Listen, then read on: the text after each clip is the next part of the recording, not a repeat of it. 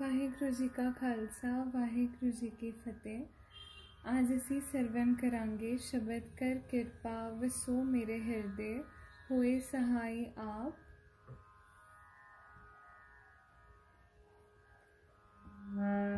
कर कृपा